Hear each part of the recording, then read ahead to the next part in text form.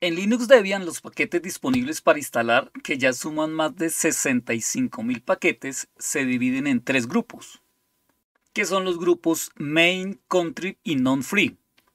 Por defecto, al instalar Debian solo se habilita el grupo main, y los otros que son contrib y non-free debemos agregarlos manualmente, bien sea utilizando Synaptic o modificando un archivo que es el archivo que está en la carpeta slash etc slash apt y el archivo se llama sources.list. Los repositorios main dice que cumplen con la DFSG y no tienen dependencias non-free. Y los repositorios de contrib o el grupo de contrib dice que cumplen con la DFSG pero tienen dependencias non-free. Y obviamente los non-free es que no cumplen con la DFSG. La DFSG son las directrices del software libre de Linux Debian. Entonces, aquí por ejemplo estoy en Linux Debian 11 en Bullseye. Voy a abrir una terminal de comandos. NeoFetch, aquí tengo Debian 11 Bullseye. Entonces, estos tres grupos, Main, Contrib y Non-Free, que se ven en, si abro por ejemplo Synaptic,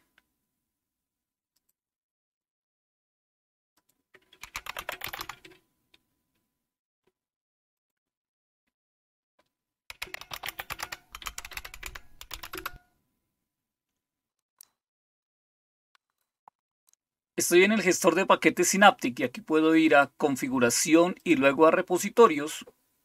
Y aquí en repositorios me va a aparecer entonces en la pestaña de Debian Software las tres, eh, los tres grupos que serían los que están soportados oficialmente, que sería el grupo main, el grupo compatible eh, con la DFSG pero que tiene dependencias no libres, que sería el grupo contrib, y el último sería el grupo non-free.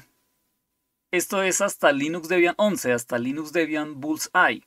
Pero en Linux Debian 12 van a crear un nuevo grupo o este grupo non-free lo van a dividir o subdividir en dos pequeños grupos. Entonces, obviamente para, para por defecto solamente vienen activados el grupo de main y estos dos los podemos activar, bien sea dando clic aquí. Quería mostrar algo ven aquí en la terminal de comandos, si yo voy a la carpeta etc apt y hago un cat sources.list, observen aquí tenemos estas seis líneas, 2, 4, 4 de aquí y estas otras dos de acá, seis líneas y en cada una de estas líneas que serían la que tiene la dirección de repositorio, después de la palabra bullseye solamente tiene la palabra main. Y entonces para poder activar los repositorios contrib y non-free solamente tenemos que agregar aquí la palabra espacio contrib espacio non-free. Esto lo podemos hacer editando a mano este archivo, dando sudo nano y el nombre del archivo. O lo podríamos hacer directamente desde Synaptic entonces, aquí en Synaptic,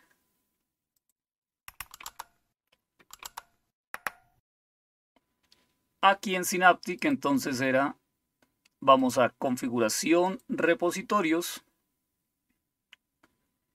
y aquí entonces puedo activar este por ejemplo y le daría cerrar. Y aquí entonces le daría recargar para que se volvieran para que se vuelvan a actualizar los repositorios y aquí este valor de abajo va a cambiar de 58.748 que estábamos, pasa a ser 59.045. Y si doy nuevamente aquí un cat sources.list, observen que aquí en todas las seis líneas se le ha agregado la palabra contrib.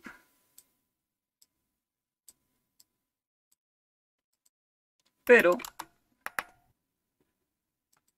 faltaría agregarle la palabra o los repositorios de non-free. Entonces, normalmente se habilitan estas tres líneas. Y también la última línea que sería para el código fuente o el último grupo del código fuente. Entonces lo normal sería tener main, que es como viene por defecto, y agregamos estas dos, la contrib y non-free. Y aquí nuevamente recargamos los paquetes.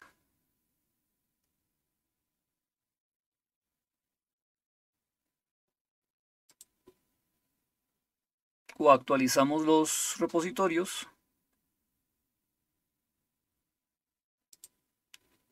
Y tenemos ahora entonces 59.744 paquetes.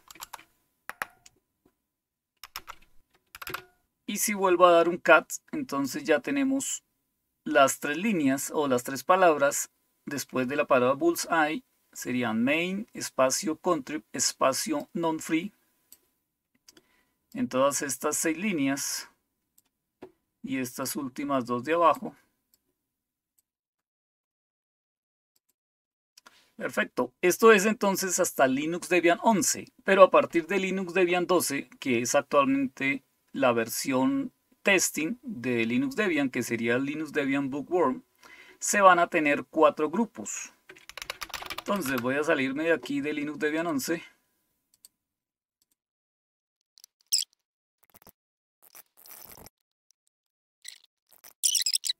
Ok, ahora estoy en Linux Debian 12 y si abro aquí, por ejemplo, Synaptic, el gestor de paquetes Synaptic,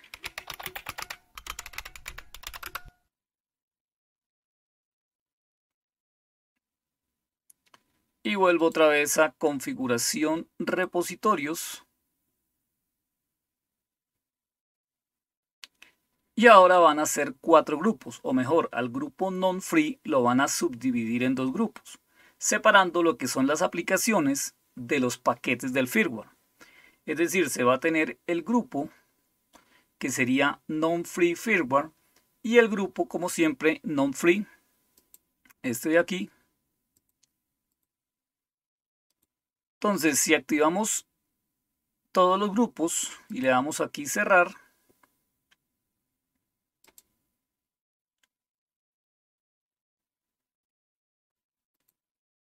y vuelvo a ver